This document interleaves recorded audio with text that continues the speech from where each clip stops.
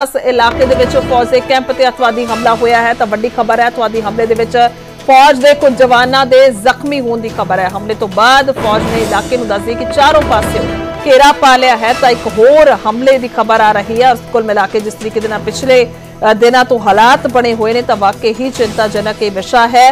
ਔਰ ਖਾਸ ਤੌਰ ਤੇ ਜੇਕਰ ਗੱਲ ਕੀਤੀ ਜਾਵੇ ਤਾਂ ਪਿਛਲੇ ਜੇਕਰ ਡੇਢ ਮਹੀਨੇ ਦਾ ਅਸੀਂ ਜ਼ਿਕਰ ਕਰੀਏ ਤਾਂ ਕਾਫੀ ਜ਼ਿਆਦਾ ਚੁਣੌਤੀ ਬਣਿਆ ਹੋਇਆ ਹੈ ਸੁਰੱਖਿਆ ਦਸਤਿਆਂ ਦੇ ਲਈ, ਪੁਲਿਸ ਦੇ ਲਈ ਜੋ ਹਾਲਾਤ ਨੇ, ਕਿਉਂਕਿ ਅਤਵਾਦੀ ਲੁਕੇ ਹੋਏ ਨੇ ਗਰੁੱਪਸ ਦੇ ਵਿੱਚ।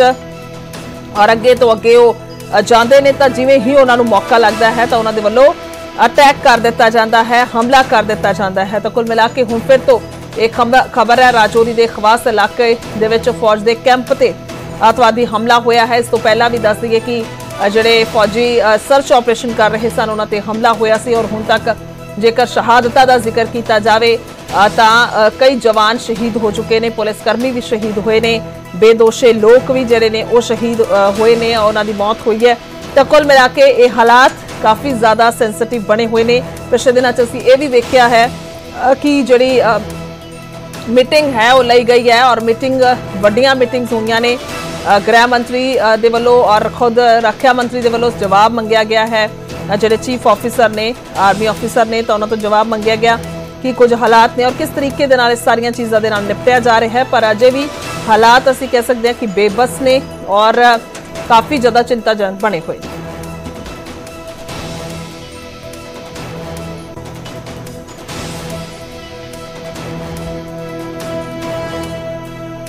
ਤਾਂ ਮੇਰੇ ਸਹਿਯੋਗੀ ਕੋਮਲ ਫੋਨ ਲਾਈਨ ਤੇ ਮੌਜੂਦ ਨੇ। ਅ, ਕੋਮਲ ਕੀ ਕੁਝ ਜਾਣਕਾਰੀ ਹੈ? ਕਿਉਂਕਿ ਇੱਕ ਵਾਰ ਫਿਰ ਤੋਂ ਇਹ ਅਤਵਾਦੀ ਹਮਲਾ ਹੋਇਆ ਹੈ। ਫੌਜ ਦੇ ਕੁਝ ਜਵਾਨ ਜ਼ਖਮੀ ਹੋਏ ਨੇ। ਹੁਣ ਤੱਕ ਦੀ ਕੀ ਰਿਪੋਰਟ ਹੈ? ਦੇਖੋ ਇਹ ਆਤੰਕੀ ਹੁਣ ਇੱਕ ਦੇ ਬਾਅਦ ਇੱਕ ਹਮਲਾ ਕਰ ਰਹੇ ਨੇ। ਦੇਖੋ ਪਹਿਲਾ ਡੋਡਾ ਦਾ ਹਮਲਾ ਅਜੇ ਠੰਡਾ ਹੋਇਆ ਹੀ। ਨਹੀਂ ਸੀ ਕਿ ਰਜੌਰੀ 'ਚ ਹਮਲਾ ਹੋ ਗਿਆ। ਸ਼ੁਰੂਆਤ ਜਿਹੜੀ ਜੰਮੂ ਸੰਭਾਗ 'ਚ ਮਿਲੀਟੈਂਸੀ ਦੀ ਸ਼ੁਰੂਆਤ ਸੀਗੀ ਉਹ ਰਜੌਰੀ ਤੋਂ ਹੀ ਸ਼ੁਰੂ ਹੋਈ ਸੀ। ਦੋ ਅਹ, ਰਜੌਰੀ ਦੇ ਡਾਂਗਰੀ ਅਹ, ਇਲਾਕੇ ਤੇ ਅਟੈਕ ਹੋਇਆ ਸੀ। ਉਹਦੇ ਬਾਅਦ ਇੱਕ ਤੋਂ ਇੱਕ ਬਾਅਦ ਜੰਮੂ ਸੰਭਾਗ ਦੇ ਅਲੱਗ-ਅਲੱਗ ਜ਼ਿਲ੍ਹਿਆਂ ਵਿੱਚ ਜਿਹੜੀ ਆਤੰਕੀ ਹਮਲੇ ਹੁੰਦੇ ਗਏ ਨਾ ਵੀ ਡੋਡਾ ਦੇ ਹਮਲਾ ਜਿਹੜਾ ਸੀਗਾ ਉਹ ਠੰਡਾ ਹੀ ਨਹੀਂ ਸੀ ਪਿਆ। ਔਰ ਰਜੌਰੀ ਵਿੱਚ ਇੱਕ ਹੋਰ ਹਮਲਾ ਹੋਇਆ ਸੈਨਾ ਦੇ ਕੈਂਪ ਨया ਨਵਾਂ ਕੈਂਪ ਬਣਿਆ ਸੀ ਜਿਹਦੇ ਉੱਤੇ ਹਮਲਾ ਹੋਇਆ ਹੈ। ਔਰ ਰੈਕੀ ਕਰਦੇ ਨਾਲ ਆਤੰਕੀ ਪਹਿਲੇ ਦਿਨੇ ਘੁੰਮਦੇ ਆ ਅਲ- ਆਮ ਇਨਸਾਨ ਦੇ ਨਾਲ ਬਣ ਕੇ ਖਾਨ ਫੂਡ ਪਾ ਕੇ ਉਹ ਅਮ, ਨਮਾਜ਼ਾਂ ਪੜ੍ਹਦੇ ਆ ਮਸਜਿਦ ਵਿੱਚ ਔਰ ਲੋਕਾਂ ਨਾਲ ਗੱਲ ਕਰਦੇ ਆ। ਆਮ ਇਨਸਾਨ ਬਣ ਕੇ ਕਿ ਜਿਸ ਤਰ੍ਹਾਂ ਕਿਸੇ ਨੂੰ ਪਤਾ ਹੀ ਨਹੀਂ ਚੱਲੇ ਕਿ ਉਹ ਆਤੰਕਵਾਦੀ ਹੈ ਉਹ ਸਾਰੀ ਰੈਕੀ ਕਰਦੇ ਨੇ ਉਹਦੇ ਬਾਅਦ ਉਹ ਹਮਲਾ ਕਰਦੇ ਆ। ਔਰ ਦੇਖੋ ਇੱਥੇ ਉਹਨਾਂ ਨੇ ਇੱਕ ਵੱਡਾ ਹਮਲਾ ਕੀਤਾ ਹੈ। ਔਰ ਅ, ਤਾਬੜਤੋੜ ਫਾਇਰਿੰਗ ਜਿਹੜੀ ਜਿਹੜੀ ਹੈ ਦੋਨੋਂ ਤਰਫੋਂ ਚੱਲਦੀ ਰਹੀ ਹੈ। ਪਹਿਲੇ ਉਹਨਾਂ ਨੇ ਹਮਲਾ ਕੀਤਾ ਤੜਕੇ ਹਨੇਰੇ ਵਿੱਚ ਉਹਨਾਂ ਨੇ ਹਮਲਾ ਕੀਤਾ ਕੈਂਪ ਦੇ ਔਰ ਜਿਸਦੇ ਅਲਰਟ ਜਿਹੜੀ ਸੈਨਾ ਦੇ ਸਾਡੇ ਜਵਾਨ ਸੀਗੇ ਜਾਂ ਬਾਅਦ ਉਹਨਾਂ ਨੇ ਵੀ ਫਾਇਰਿੰਗ ਜਿਹੜੀ ਕੀਤੀ ਹੈ ਦੋਨੋਂ ਤਰਫੋਂ ਫਾਇਰਿੰਗ ਜਿਹੜੀ ਚੱਲੇ ਕਰਦੀ ਹੈ। ਸਾਰਾ ਏਰੀਆ ਇਲਾਕੇ ਦਾ ਜਿਹੜਾ ਉਹ ਘੇਰ ਲਿਆ ਹੋਇਆ ਸਾਰੀ ਸਰਚ ਆਪਰੇਸ਼ਨ ਦੀ ਟੀਮ ਉੱਥੇ ਪਹੁੰਚੀ ਹੋਈ ਹੈ। ਐਸਐਸਪੀ ਰਜੌਰੀ ਮੌਕੇ ਤੇ ਪਹੁੰਚੇ ਆਈਜੀ ਜੰਮੂ ਜਿਹੜੇ ਉਹ ਮੌਕੇ ਤੇ ਕੁਝ ਹੀ ਦੇਰ ਬਾਅਦ ਪਹੁੰਚ ਜਾਣਗੇ। ਤੇ ਜਿਹੜਾ ਇਲਾਕਾ ਹੈ ਚਾਰੋਂ ਤਰਫੋਂ ਚਾਰ- ਸਾਈਡ ਤੋਂ ਘੇਰ ਲਿਆ ਹੋਇਆ ਲੇਕਿਨ ਹਰ ਬਾਰ ਆਤੰਕੀ ਜਿਹੜੇ ਹੈ ਉਹ ਜੰਗਲਾਂ ਵਿੱਚ ਜਿਹੜੇ ਸੀਗੇ ਉਹ ਛੁਪ ਜਾਂਦੇ ਸੀ। ਲੇਕਿਨ ਹੁਣ ਉਹਨਾਂ ਨੇ ਨਈ ਤਕਨੀਕ ਨਾਲ ਹਮਲਾ ਸ਼ੁਰੂ ਕੀਤਾ। ਔਰ ਨਈ ਤਕਨੀਕ ਨਾਲ ਪਹਾੜਾਂ ਦੀ ਉਚਾਈ ਤੇ ਬੈਠਦੇ ਆ ਔਰ ਫਿਰ ਉੱਥੋਂ ਦੇਖਦੇ ਆ ਸਨਾਈਪਰ ਵਾਰ ਕਰਦੇ ਆ ਔਰ ਉਹਨਾਂ ਕੋਲ ਕੁਝ ਐਸੀ ਹਾਈ ਟੈਕਨੀਕ ਕੈਮਰੇ ਆ ਕਿ ਜਿਹੜੇ ਬੋਡੀ ਨਾਲ ਲਗਾਉਂਦੇ ਆ ਅਟੈਕ ਕਰਨ ਤੋਂ ਪਹਿਲਾਂ ਵੀਡੀਓ ਬਣਾਉਂਦੇ ਆ। ਇਹ ਸਾਰੇ ਪ੍ਰੂਫ ਖੁਦ ਆਪਣੇ ਕੋਲ ਰੱਖਦੇ ਆ ਔਰ ਪਾਕਿਸਤਾਨੀ ਆਕਾਓ ਨੂੰ ਭੇਜਦੇ ਆ ਕਿ ਅਸੀਂ ਇੱਥੇ ਇਹ ਇਸ ਹਮਲੇ ਨੂੰ ਅੰਜਾਮ ਦੇ ਛੱਡਿਆ। ਤੇ ਪਾਕਿਸਤਾਨ ਬਾਗ ਜਿਹੜੀ ਜਿਹੜੀ ਹੈ ਉਹਨੂੰ ਜੰਮੂ ਕਸ਼ਮੀਰ ਦੀ ਸ਼ਾਂਤੀ ਖਾਸ ਕਰ ਜੰਮੂ ਸੰਭਾਗ 'ਚ ਜਿਹੜੀ ਸ਼ਾਂਤੀ ਹੈਗੀ ਹੈ ਉਹ ਉਹਨਾਂ ਨੂੰ ਪਚ ਨਹੀਂ ਰਹੀ ਹੈ। ਉਹ ਇਹੋ ਕਾਰਨ ਹੈ ਕਿ ਉਹ ਹਮਲੇ ਦੇ ਉੱਪਰ ਹਮਲਾ ਕਰ ਰਿਹਾ ਵਿਧਾਨ ਸਭਾ ਚੁਣਾਵ ਦੀ ਇੱਕ ਤਰਫ ਤਿਆਰੀ ਚੱਲਦੀ ਹੈ ਔਰ ਦੂਸਰੀ ਤਰਫ ਇੱਥੇ ਹਮਲੇ ਦੇ ਬਾਅਦ ਇੱਕ ਦੇ ਬਾਅਦ ਇੱਕ ਹਮਲਾ ਹੋਈ ਜਾ ਰਿਹਾ ਹੈ। ਜੀ। ਕੋਮਲ ਕਿੰਨੇ ਜਵਾਨ ਨੇ ਜਿਹੜੇ ਜ਼ਖਮੀ ਹੋਏ ਨੇ? ਕੋਈ ਅੰਕੜਾ ਹੋਏ? ਜੀ ਦੇਖੋ ਅਜੇ ਕੋਲ ਇਹ ਖਬਰ ਤਾਂ ਨਹੀਂ ਆਈ ਹੈ ਲੇਕਿਨ ਇਹ ਹੈ ਕਿ 4 ਦਿਨ ਪੰਜ ਆਤੰਕੀ ਸੀਗੇ ਜਿਨ੍ਹਾਂ ਨੇ ਉਹਨਾਂ ਤੋਂ ਤਾਬੜਤੋੜ ਫਾਇਰਿੰਗ ਕੀਤੀ ਹੈ। ਆਬਵੀਅਸਲੀ ਗੁਰਜੋਤ ਜੀ ਜਦੋਂ ਕੈਂਪ ਦੇ ਉੱਪਰ ਫਾਇਰਿੰਗ ਹੁੰਦੀ ਹੈ ਤੇ ਕੈਂਪ ਦੇ ਸਾਡੇ ਅਲਰਟ ਜਿਹੜੇ ਸੈਨਾ ਦੇ ਜਵਾਨ ਹੁੰਦੇ ਉਹ ਆਪਣੀ ਆਪਣੀ ਵਿਕਟ ਪੋਸਟ ਉੱਪਰ ਬੈਠੇ ਹੁੰਦੇ ਆ ਔਰ ਜਿਸ ਤਰੀਕੇ ਦੇ ਬੜਾ ਸਨਾਈਪਰ ਵਾਰ ਕਰਦੇ ਆ ਆਤੰਕੀ ਨਈ ਟੈਕਨੀਕ ਦੇ ਨਈ ਟੈਕਨੀਕ ਨਾਲ ਆਤੰਕੀ ਜਿਹੜੇ ਅਟੈਕ ਕਰ ਰਹੇ ਨੇ ਬਿਲਕੁਲ ਸਨਾਈਪਰ ਵਾਰ ਕਰਦੇ ਤਾਂ ਕਿ ਸੈਨਾ ਦੇ ਜਵਾਨ ਦੇ ਸਿੱਧੇ ਫੇਸ ਦੇ ਉੱਪਰ ਲੱਗੇ ਜਾਂ ਛਾਤੀ ਉੱਪਰ ਲੱਗੇ। ਤੇ ਐਸੀ ਸਿਚੁਏਸ਼ਨ 'ਚ ਉਹਨਾਂ ਨੇ ਬੜਾ ਸਨਾਈਪਰ ਵਾਰ ਕੀਤਾ। ਹਾਲਾਂਕਿ ਹਨੇਰਾ ਸੀਗਾ ਲੇਕਿਨ ਤਾਬੜਤੋੜ ਫਾਇਰਿੰਗ ਦੋਨੋਂ ਤਰਫੋਂ ਹੋਈ ਹੈ ਲੇਕਿਨ ਕੁਝ ਜਵਾਨਾਂ ਦੇ ਜਿਹੜੀ ਹੈ ਸਾਡੇ ਘਾਇਲ ਹੋਣ ਦੀ ਖਬਰ ਜਿਹੜੀ ਹੈ ਉਹ ਆ ਰਹੀ ਹੈ ਜੀ ਬਹੁਤ ਬਹੁਤ ਸ਼ੁਕਰੀਆ ਕੋਮਲ तमाम ਜਾਣਕਾਰੀ ਲਈ ਧੰਨਵਾਦ ਹੈ ਤਾਂ ਮੇਰੇ ਸਹਿਯੋਗੀ ਨੇ ਪੂਰੀ ਵਿਸਤਾਰ ਦੇ ਨਾਲ ਜਾਣਕਾਰੀ ਦਿੱਤੀ ਔਰ ਉਹਨਾਂ ਨੇ ਵੀ ਦੱਸਿਆ ਕਿ ਕਿਵੇਂ ਨਵੀਂ ਤਕਨੀਕ ਦੇ ਨਾਲ ਇਹ ਜਿਹੜੇ ਅੱਤਵਾਦੀ ਨੇ ਉਹਨਾਂ ਦੇ ਵੱਲੋਂ ਅਟੈਕ ਲਗਾਤਾਰ ਕੀਤੇ ਜਾ ਰਹੇ ਨੇ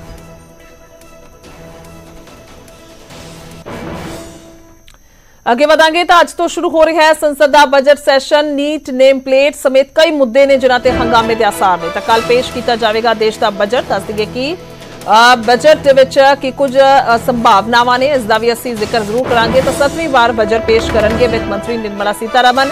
ਮੰਨਿਆ ਜਾ ਰਿਹਾ ਹੈ ਕਿ ਜਿਹੜੀ ਸਨਮਾਨ ਨਿਧੀ ਯੋਜਨਾ ਹੈ ਕਿਸਾਨਾਂ ਦੀ ਉਸ ਦੇ ਵਿੱਚ ਵੜੌਤੀ ਹੋ ਸਕਦੀ ਹੈ 6000 ਸਾਲਾਨਾ ਰੁਪਏ ਮਿਲਦੇ ਨੇ ਕਿਸਾਨਾਂ ਨੂੰ, ਤਾਂ ਉਸ ਦੇ ਵਿੱਚ 8000 ਰੁਪਏ ਜਿਹੜੇ ਹੈ ਉਹ ਕੀਤੇ ਜਾ ਸਕਦੇ ਨੇ। ਇਸ ਤੋਂ ਇਲਾਵਾ ਆਯੁਸ਼ਮਾਨ ਜਿਹੜਾ ਕਾਰਡ ਹੈ, ਉਸ ਦੇ ਵਿੱਚ ਸਾਰੇ ਹੀ ਬਜ਼ੁਰਗ 70 ਸਾਲ ਤੋਂ ਉੱਤੇ ਜਿਹੜੇ ਆਉਂਦੇ ਨੇ, ਬੇਸ਼ੱਕ ਉਹ ਪੈਨਸ਼ਨ ਲੈ ਰਹੇ ਹੋਣ ਜਾਂ ਫਿਰ ਬਹੁਤ ਵਧੀਆ ਉਹਨਾਂ ਦੀ ਇਨਕਮ ਹੋਏ, ਉਹਨਾਂ ਦੇ ਕੋਲ ਜ਼ਮੀਨ ਹੋਏ, ਤਾਂ ਉਹ ਵੀ ਉਹ ਕਾਰਡ ਬਣਾ ਸਕਣਗੇ। ਇਸ ਤਰੀਕੇ ਦੇ ਨਾਲ ਇਹ ਸਾਰੀਆਂ ਚੀਜ਼ਾਂ ਦਿੱਤੀਆਂ ਜਾ ਸਕਦੀਆਂ ਨੇ। ਬਜਟ ਦੇ ਵਿੱਚ ਜੋ ਬਜਟ ਪੇਸ਼ ਹੋਏਗਾ, ਤਾਂ ਕਿਤੇ ਨਾ ਕਿਤੇ ਸੰਭਾਵਨਾਵਾਂ ਜਤਾਈਆਂ ਜਾ ਰਹੀਆਂ ਨੇ ਔਰ ਦੇਖਣਾ ਹੋਏਗਾ ਕਿ ਕੁਝ ਜਿਹੜਾ ਹੈ ਉਹ ਬਜਟ ਦੇ ਵਿੱਚ ਰਹੇਗਾ।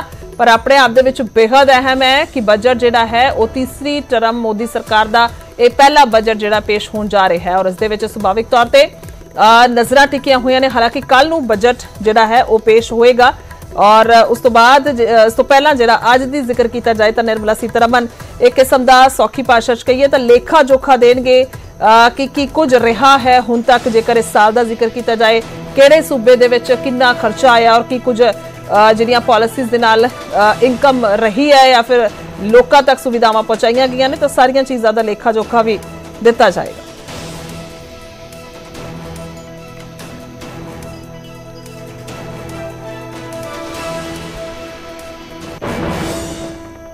ਅੱਗੇ ਵਧਦੇ ਹਾਂ, ਸ਼ੰਭੂ ਬਾਰਡਰ ਦਾ ਜ਼ਿਕਰ ਕਰਾਂਗੇ ਤਾਂ ਸ਼ੰਭੂ ਬਾਰਡਰ ਦੇ ਮਾਮਲੇ ਦੇ ਵਿੱਚ ਅੱਜ ਸੁਪਰੀਮ ਕੋਰਟ ਦੇ ਵਿੱਚ ਅਹਿਮ ਸੁਣਵਾਈ ਹੋਏਗੀ। ਹਰਿਆਣਾ ਸਰਕਾਰ ਦੀ ਪਟੀਸ਼ਨ ਤੇ ਦੱਸਦੇ ਕਿ ਸੁਣਵਾਈ ਹੋਏਗੀ। ਹਰਿਆਣਾ ਨੇ ਹਾਈ ਕੋਰਟ ਦੇ ਫੈਸਲੇ ਨੂੰ ਚੁਣੌਤੀ ਦਿੱਤੀ ਹੋਈ ਹੈ। ਹਾਈ ਕੋਰਟ ਨੇ 10 ਜੁਲਾਈ ਨੂੰ ਨਿਰਦੇਸ਼ ਦਿੱਤੇ ਸਨ ਕਿ ਇੱਕ ਹਫ਼ਤੇ ਦੇ ਅੰਦਰ ਸ਼ੰਭੂ ਬਾਰਡਰ ਖੋਲ ਦਿੱਤਾ ਜਾਵੇ। ਸਰਕਾਰ ਵਾਲੇ ਪਾਸੇ ਜਿਹੜੇ ਬੈਰੀਕੇਡਿੰਗ ਕਰਵਾਈ ਹੋਈ ਹੈ, ਸਾਰਾ ਕੁਝ ਉਹ ਸਾਫ਼ ਕੀਤਾ ਜਾਏ। ਤਾਂ ਇਸ ਦੇ ਖਿਲਾਫ ਹਰਿਆਣਾ ਸਰਕਾਰ ਸੁਪਰੀਮ ਕੋਰਟ ਪਹੁੰਚੀ ਹੈ ਔਰ ਸੁਭਾਵਿਕ ਤੌਰ ਤੇ ਉਹਨਾਂ ਨੇ ਆਪਣਾ ਪੱਖ ਰੱਖਿਆ ਹੈ। ਤਾਂ ਹਰਿਆਣਾ ਸਰਕਾਰ ਮੁਤਾਬਿਕ ਕਾਨੂੰਨ ਵਿਵਸਥਾ ਨੂੰ ਬਣਾਏ ਰੱਖਣ ਦੇ ਲਈ ਇਹ ਰਾਹ ਜਿਹੜਾ ਹੈ ਬੰਦ ਕੀਤਾ ਹੋਇਆ ਹੈ। ਪਰ ਹਾਈ ਕੋਰਟ ਨੇ ਸਾਫ਼ ਸ਼ਬਦਾਂ ਦੇ ਵਿੱਚ ਆਪਣੀ ਟਿੱਪਣੀਆਂ 'ਚ ਕਿਹਾ ਸੀ ਕਿ ਸਰਕਾਰ ਰਾਹ ਨਹੀਂ ਬੰਦ ਕਰ ਸਕਦੀ ਔਰ ਇਹ ਕਿਸ ਤਰੀਕੇ ਦੇ ਨਾਲ ਔਰ ਕਿਉਂ ਕੀਤਾ ਗਿਆ। ਤਾਂ ਹੁਣ ਦੇਖਣਾ ਹੋਏਗਾ ਸਰਵੋੱਚ ਅਦਾਲਤ ਦੇ ਵੱਲੋਂ ਕੀ ਕੁਝ ਇਸ ਤੇ ਫੈਸਲਾ ਆਉਂਦਾ ਹੈ।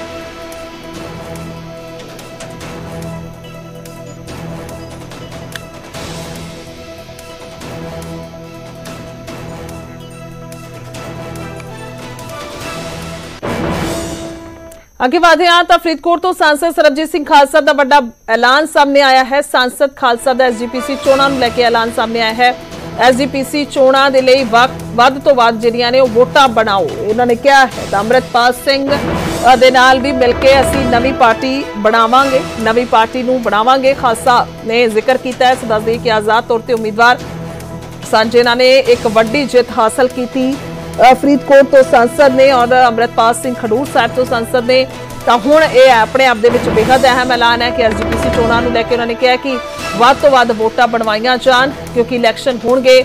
ਤਾਂ ਉਸ ਦੇ ਵਿੱਚ ਸੁਭਾਵਿਕ ਤੌਰ ਤੇ ਇਹ ਲਗਾਤਾਰ ਚਰਚਾਵਾਂ ਉੱਠ ਰਹੀਆਂ ਨੇ ਕਿ ਚੋਣ ਜਿਹੜੀ ਹੈ ਉਹ ਇਸ ਵਾਲੇ ਪਾਸਿਓਂ ਲੜੀ ਜਾ ਸਕਦੀ ਹੈ।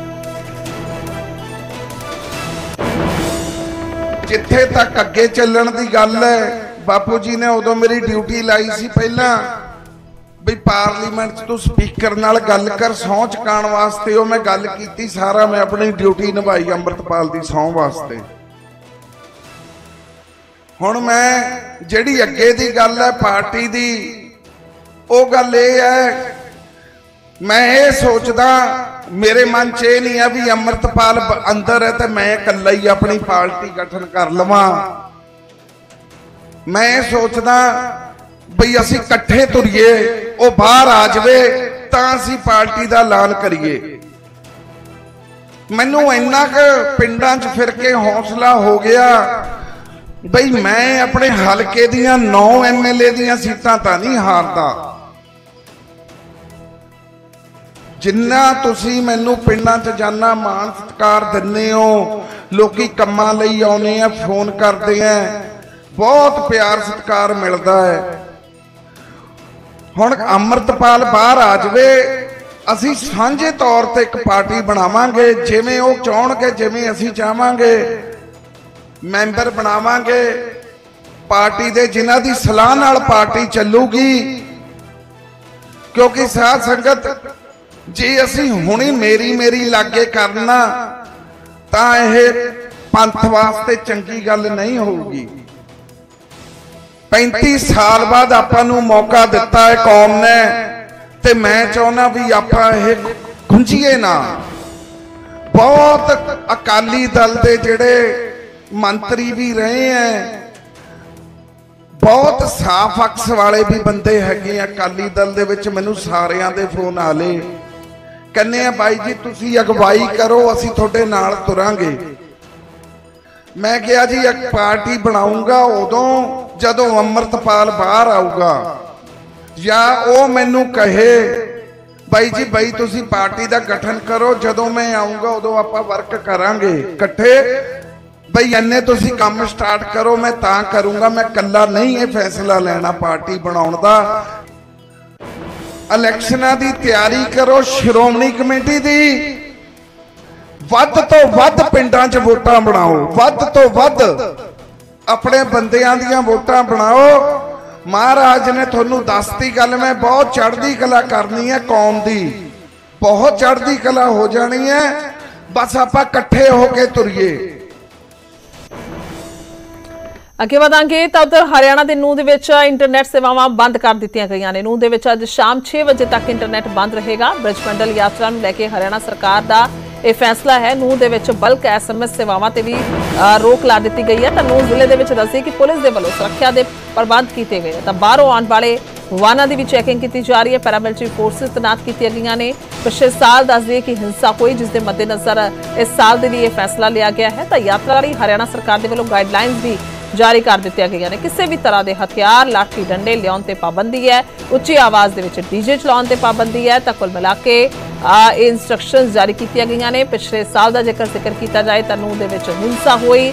ਵੱਡੇ ਜਿਹੜਾ ਹੈ ਵੇਖਣ ਨੂੰ ਮਿਲਿਆ ਕਿਸ ਤਰੀਕੇ ਦੇ ਨਾਲ ਤਣਾਅਪੂਰਨ ਮਾਹੌਲ ਸੀ ਔਰ ਜਿਸ ਤੋਂ ਬਾਅਦ ਹੁਣ ਜਿਸ ਦੇ ਮੱਦੇਨਜ਼ਰ ਇਹ ਫੈਸਲਾ ਲਿਆ ਗਿਆ ਹੈ ਔਰ ਇਨਸਟਰਕਸ਼ਨਸ ਜਾਰੀ ਕੀਤੀਆਂ ਗਈਆਂ ਨੇ।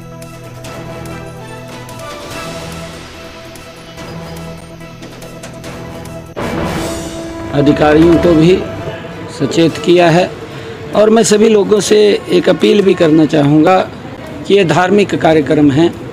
समाज के अंदर हम सब मिलकर के रहते हैं और मिलकर के भाईचारा आपस में बढ़ता है, क्योंकि ये लंबे समय से ब्रजमंडल की यात्रा हमारे जो मानने वाले भगवान श्री कृष्ण को, क्योंकि भगवान श्री कृष्ण की वो धरा रही है और उस ब्रजमंडल के अंदर वो आस्था से जुड़े हुए लोग हैं तो उनकी यात्रा वो निकलती है। मैं सभी से कहना चाहूँगा मैं वहाँ के लोगों को भी ये कहना चाहूँगा कि उस यात्रा में सहयोग करना चाहिए और मिलकर के आपस में अ, हमें उस यात्रा को वो सफल करना चाहिए।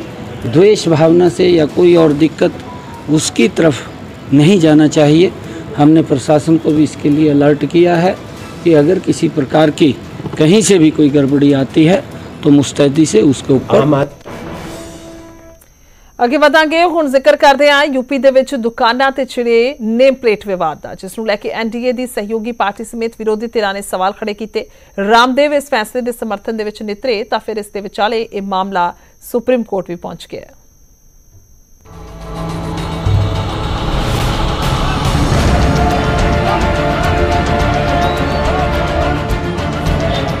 ਉੱਤਰ ਪ੍ਰਦੇਸ਼ ਦੇ ਵਿੱਚ ਕਾਂਵੜ ਯਾਤਰਾ ਦੇ ਰਾਹ ਦੀਆਂ ਸਾਰੀਆਂ ਦੁਕਾਨਾਂ ਤੇ ਨੇਮ ਪਲੇਟ ਲਗਾਉਣ ਦੇ ਹੁਕਮ ਦਾ ਮਾਮਲਾ ਭਖਿਆ ਹੋਇਆ ਇਸ ਨੂੰ ਲੈ ਕੇ ਜੰਮ ਕੇ ਸਿਆਸਤ ਹੋ ਰਹੀ ਹੈ ਤੇ ਨਿਸ਼ਾਨੇ ਤੇ ਯੂਪੀ ਦੀ ਯੋਗੀ ਸਰਕਾਰ ਹੈ।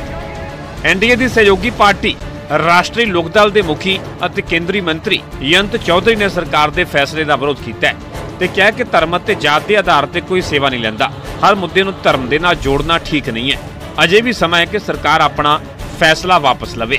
ਉਧਰ ਆਮ ਆਦਮੀ ਪਾਰਟੀ ਦੇ ਰਾਜ ਸਭਾ ਮੈਂਬਰ ਸੰਜੇ ਸਿੰਘ ਨੇ ਇਸ ਫੈਸਲੇ ਨੂੰ ਦਲਿਤ ਅਤੇ ਪਿਛੜੇ ਵਰਗ ਦੇ ਖਿਲਾਫ ਦੱਸਿਆ ਤੇ ਨਾਲ ਹੀ ਭਾਜਪਾ ਤੇ ਤਿੱਖੇ ਸ਼ਬਦੀ ਵਾਰ ਕੀਤੇ ना तो कावड़ लेके जाने वाला व्यक्ति कोई पहचान करता है जो सेवादार है उनकी वो एक आशीर्वाद की तरह वो प्राप्त करते हैं ग्रहण करते हैं और आगे चलते हैं अपने काम कोई इस हिसाब से जाति या धर्म के पहचान करके सेवा नहीं लेता और ना ही इस मामले को धर्म जाति से जोड़ा जाना चाहिए। सब प्रतिष्ठान अपना नाम लिखें। अब एक मालिक कोई और हो सकता है ब्रांड कुछ और हो सकता है। मैकडोनल्ड्स क्या लिखेगा? बताओ खतौली में बर्गर किंग क्या लिखेगा? पुराने ब्रांड हैं किसी के नाम हो सकते हैं एक मालिक नहीं कई मालिक हो सकते हैं। श्रीमती द्रौपदी मुर्मू जी को राम मंदिर के उद्घाटन में नहीं बुलाया रामनाथ कोविंद जी को शिलान्यास में नहीं बुलाया। ये तो वो पार्टी है। तो इसलिए ये जो फैसला है ये दलितों पिछड़ों अल्पसंख्यकों के खिलाफ है आदिवासियों के खिलाफ है दुर्भावना की राजनीति को खुलेआम और संविधान के खिलाफ है ਜੰਤ ਚੌਧਰੀ ਜਿੱਥੇ ਯੂਪੀ ਸਰਕਾਰ ਦੇ ਫੈਸਲੇ ਦਾ ਵਿਰੋਧ ਕੀਤਾ ਤਾਂ ਉਧਰ ਬਾਬਾ ਰਾਮਦੇਵ ਦਾ ਇਸ ਫੈਸਲੇ ਨੂੰ ਸਮਰਥਨ ਵੀ ਮਿਲਿਆ ਉਹਨਾਂ ਕਿਹਾ ਕਿ ਜਦੋਂ ਰਾਮਦੇਵ ਨੂੰ ਆਪਣੀ ਪਛਾਣ ਦੱਸਣ ਦੇ ਵਿੱਚ ਕੋਈ ਦਿੱਕਤ ਨਹੀਂ ਹੈ ਤਾਂ ਰਹਿਮਾਨ ਨੂੰ ਪਛਾਣ ਦੱਸਣ ਦੇ ਵਿੱਚ ਕੀ ਦਿੱਕਤ ਹੈ ਸਾਰਿਆਂ ਨੂੰ ਆਪਣੇ ਨਾਂ ਤੇ ਮਾਣ ਹੁੰਦਾ ਹੈ जब रामदेव को अपनी पहचान बताने में कोई दिक्कत नहीं है तो रहमान को क्यों दिक्कत होनी चाहिए तो अपने नाम पर तो सबको गौरव होता है तो नाम छिपाने की कोई जरूरत नहीं है अपने कार्य को शुद्धता और प्रामाणिकता से करने की आवश्यकता है यदि हमारे कार्य में शुद्धता और पवित्रता है तो हमारा नाम चाहे हिंदू है मुसलमान है हम किसी भी वर्ग से ताल्लुक रखते हैं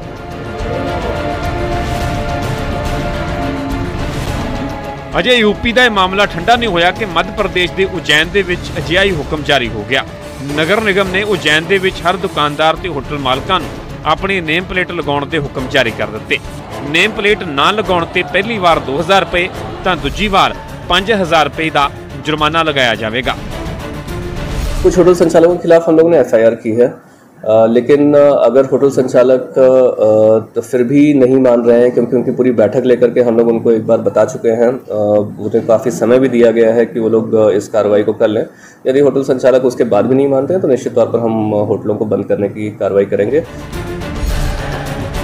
ਇਸ ਸਾਰੇ ਵਿਵਾਦ ਦੇ ਵਿਚਾਲੇ ਨੇਮ ਪਲੇਟ ਦਾ ਮਾਮਲਾ ਸੁਪਰੀਮ ਕੋਰਟ ਪਹੁੰਚ ਗਿਆ ਇਸ ਫੈਸਲੇ ਦੇ ਖਿਲਾਫ ਇੱਕ ਗੈਰ ਸਰਕਾਰੀ ਸੰਗਠਨ ਨੇ ਪਟੀਸ਼ਨ ਦਾਖਲ ਕੀਤੀ ਹੈ, ਜਿਸ ਤੇ ਸੋਮਵਾਰ ਨੂੰ ਸੁਣਵਾਈ ਕੀਤੀ ਜਾਵੇਗੀ। Bureau report, news 18 Punjab.